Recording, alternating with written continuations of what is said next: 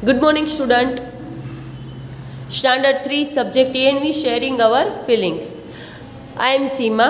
I am studying in third standard. मैं सीमा हूँ और तीसरी कक्षा में पढ़ती हूँ आफ्टर रिटर्निंग होम जब मैं घर वापस आती हूँ फ्रॉम द स्कूल स्कूल से there are two peoples who like share my news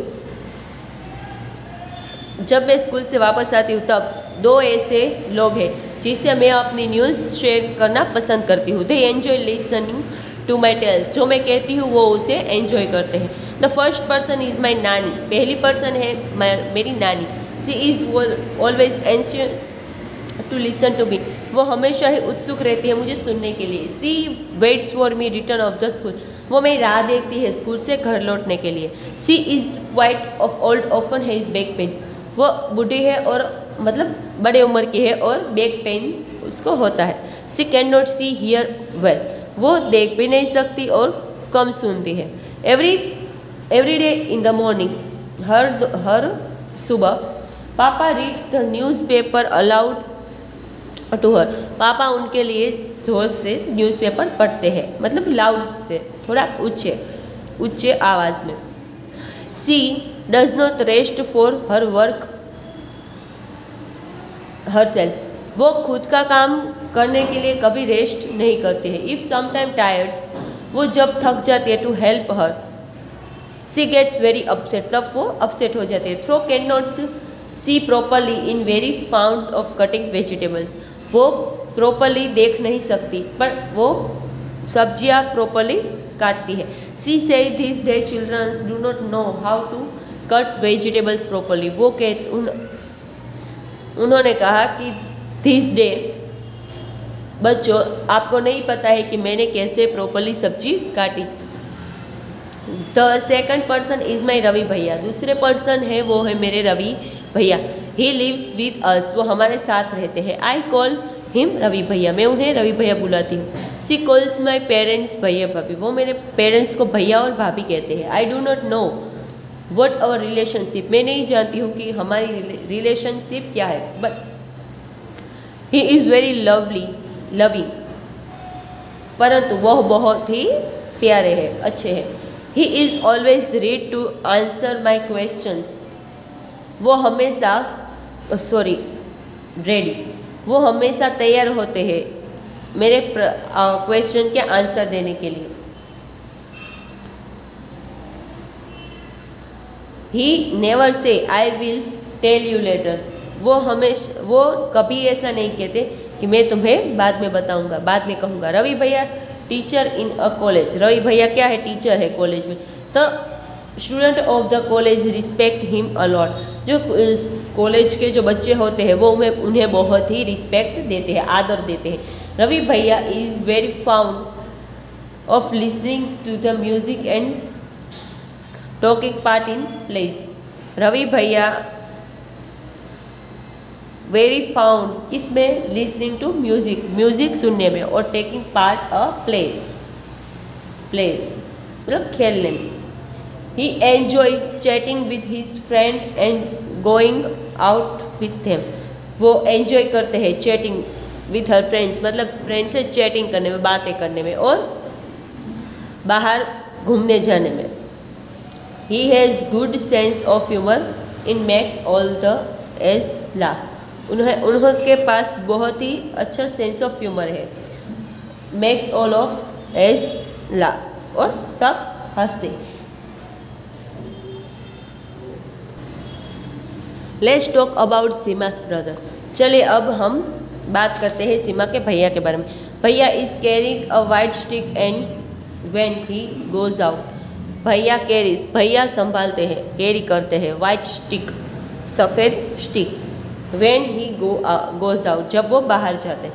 Looking at him move around in the house no one can say he can not see looking at him जब उन्हें देखते हैं move around in the house मतलब घर के आसपास no one can से कोई भी नहीं बता पाता that he can not see कि उन्होंने किसी को देखा नहीं। He likes to do all his work himself वो पसंद करते हैं अपना काम खुद ही करने में।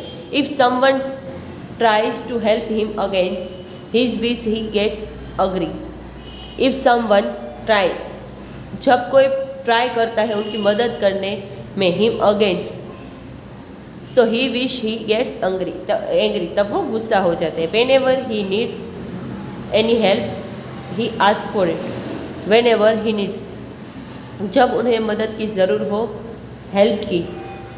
वो बता देते हैं। सम ऑफ़ भैया student take books for him and return them after recording them on tapes someone भैया स्टूडेंट जब भैया स्टूडेंट थे टेक बुक्स मतलब वो बुक लेते थे from him and return books लेते थे और फिर जब रिटर्न करते थे then after recording them on the tapes तब वो रिकॉर्डिंग करते थे टेप्स में। रवि भैया लिसन टू दिस टेप्स और वो टेप्स को वो सुनते थे। भैया has many other books too भैया के पास दूसरी भी बहुत सारी बुक्स हैं। The page of this books are thick and have row of the raised points मतलब डॉट्स वो भैया की बुक्स है, वो कितनी बड़ी होती है? थी। और row of the raised points मतलब dots he reads by running his finger on the right dots वो वो रीड्स वो पढ़ते हैं रनिंग हिज फिंगर मतलब अपने उंगलियों के, उंगलियों, अपनी उंगलियों को उस पे डॉट्स पे लगाते मतलब उंगलियों को ऐसे बुक पे ऐसे लगा कर वो पढ़ते हैं। टू हैव फन विथ भैया। और हम भैया के साथ फन करते हैं। मतलब मस्ती करते मज़ाक। भैया के साथ मस्ती करते हैं। I some I sometime change to place of his stick he does get upset but never gets angry मैं कभी कभी उनकी स्टिक छुपा देती हूँ। पर वो अपसेट हो जाते हैं, पर कभी गुस्सा नहीं करते। आफ्टर ऑल उसके बाद I am his favourite sister क्योंकि मैं उनकी फेवरेट सिस्टर सीमा हूँ। I had Hurley reach the door of door that भैया spoke up Seema you seem to be very happy today I have Hurley reach जब मैं पहुँचती हूँ दरवाजे तक तो भैया स्पोक अप तब भैया बोलते, Seema you seem to be very happy today कि मैं आज बहुत खुश हूँ। भैया recognise not only me but all the other families members from the sound and make as to move भैया, मुझे मुझे अकेले कोई नहीं फैमिली को, सब मेंबर्स को पहचानते हैं। उसके साउंड से, आवाज़ से मेक एस वी मूव और जैसे हम मूव चलते हैं वैसे, उससे भी। He can even tell whether I am happy और से भैया finally I am in football team भैया फाइनली मैं क्या हूँ? फुटबॉल टीम में हूँ. I share my news with him मैं अपना न्यूज़ उनके साथ शेयर शेयर करती हूँ. दे पेटेड मतलब एंड सेड लविंगली उन्होंने पीठ थपथपाई और कहा, बहुत अच्छा। From today you are my footballer coach इसलिए टुडे आप क्या है मेरे फुटबॉलर कोच